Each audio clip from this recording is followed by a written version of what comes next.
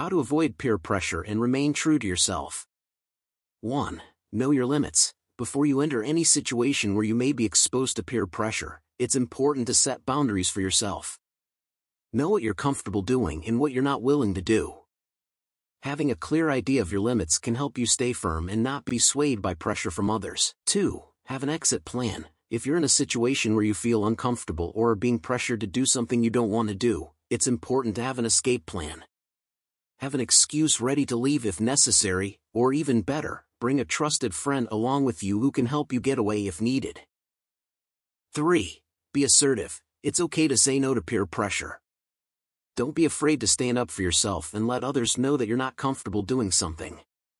Remind yourself that your opinion matters and that your friends should respect your decisions. 4. Find positive role models. Surround yourself with people who will support and encourage you to make smart decisions. Positive role models can provide you with a sense of security and will help you feel more confident in standing up to peer pressure. 5. Talk to someone. If you're struggling with peer pressure, it's important to talk to someone about it.